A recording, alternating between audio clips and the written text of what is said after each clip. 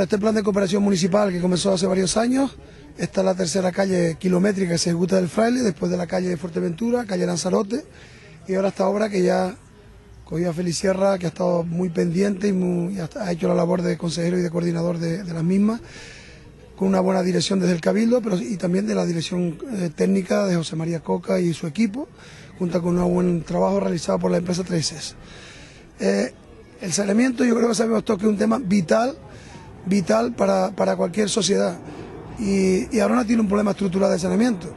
Por lo tanto, yo lo que espero es que se destinen los dineros adecuados, puesto que el ritmo que estamos llevando, pues una media de una calle cada dos años, dos años y medio, con lo cual a este, este ritmo pues terminaríamos el 2000, en el 2100.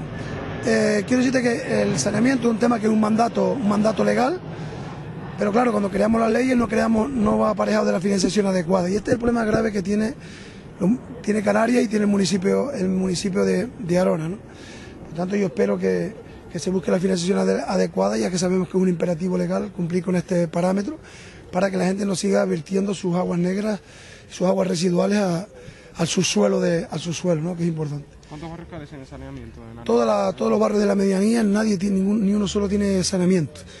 Y este es el fraile, pues ahora nos falta la segunda fase, nos falta el segundo circuito, no, pero el segundo circuito que le da, le da sentido a la obra, que lo está, Antonio Sosa lleva ahí peleando, peleando con el gobierno de Canarias, con la Dirección General de Costas, porque pues, las calles hace ya un par de años que están terminadas no se puede verter, porque está parada la estación de pretratamiento y, los, y los emisarios que lo han visto ustedes colocados junto a la, a la playa de la Galleta. Entonces es necesario la culminación de esas obras que tienen financiación, pero que es un tema técnico que él lo explica después si quiere, para darle salida a, las aguas negras y, y, a la gente del fraile de estas calles puedan empezar a hacer los vertidos.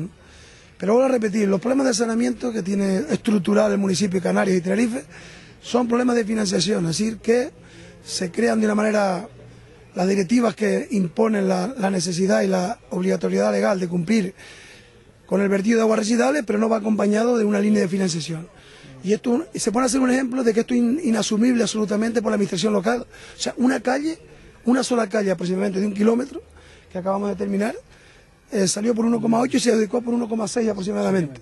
O sea, una calle solo. Si eso lo multiplicamos por la zona de medianías que carece de saneamiento, todo y cada uno de los barrios, podemos sacar unas cantidades astronómicas que, no los puede afrontar eh, ninguna administración local los cristianos y todas esas zonas.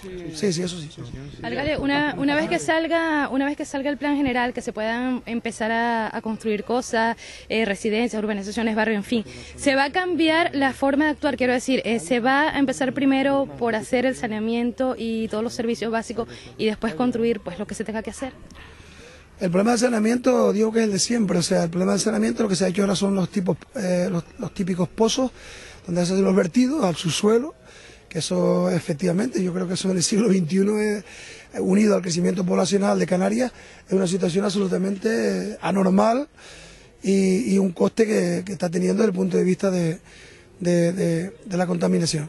Pero, pero claro, saneamiento todos queremos que se haga, el problema es la financiación de siempre, o sea, eso es de hecho una norma por parte de la directiva europea, pero claro, ¿Dónde está la financiación para ejecutar cuando obra? Cuando una obra solo de una calle, cuando te metes en un barrio como Valle San Lorenzo, que tiene cerca de 8.000 habitantes, pues tú imagínate cuando una calle sola aquí te sale 1,6 millones de euros.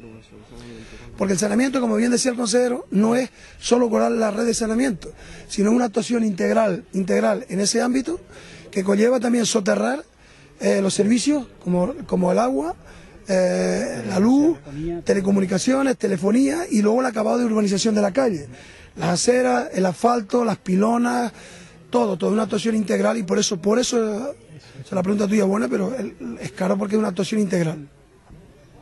¿Alguien más? Yo sí quería decir más dos cositas. Eh, del, de, sobre, el plan. El plan es un plan ambicioso que tenga en cuenta que en cooperación municipal la disponibilidad que tiene el Estado, el Estado de disponer eh, es de financiar el 50%, pero el 50% de, de, todas las obras, pero que, supuestamente ellos han aportado 4 millones. Supuestamente el Cabildo ha hecho un plan más ambicioso, es decir, se ha ido a un plan de, en cuatro años de 42 millones de euros, es decir, que ha sido un plan en toda la isla. Quiere, en toda la isla. Quiere decir que no todo el plan está ejecutado, está en un 60%, pero de ese, de ese 60% Hay dos municipios importantes como Santa Cruz de la Laguna en el que no se ha ejecutado obra. Por eso a lo mejor eh, de ese 40% un 20% corresponden a dos municipios. Hay muchos municipios realmente pequeños de toda la isla Llámese Vilaflor, por ejemplo, Las Calonas, que tiene saneamiento, llámese Los Hilos, Buenavista, que tienen el 100% del saneamiento. Así que son municipios diferentes a Arona, son municipios con muy pocos barrios y, que se ejecuta su saneamiento dentro de su, de su casco, ¿entiendes? Así que esos municipios, pues sí, tienen saneamiento, pero yo lo que quiero destacar que ha sido un ambicioso inversión del Cabildo, por encima de lo que en cooperación municipal se entiende desde el punto de vista estatal, que supuestamente serían 8 millones lo que le correspondería, pues el Cabildo ha, hecho una actuación mucho más importante sabiendo el interés y la eficiencia que en Tenerife tiene el saneamiento.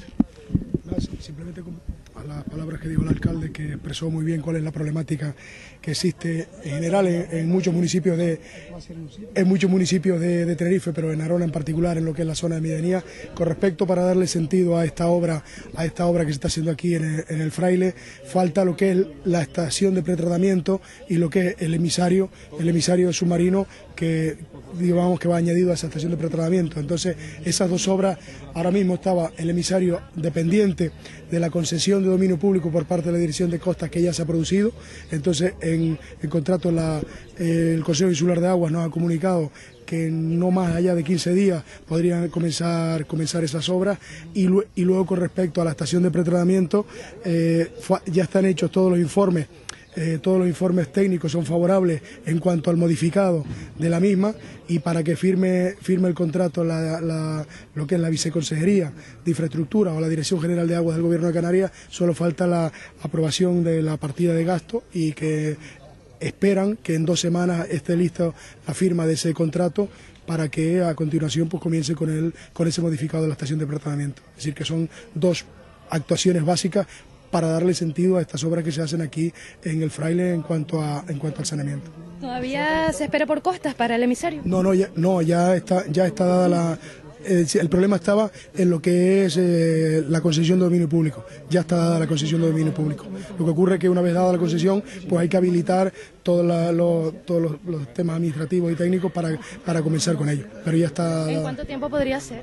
No, el, el Consejo Insular hablaba de 15 días, que en 15 días podrían ya reanudar las obras. Muy bien, muchas gracias. Vale.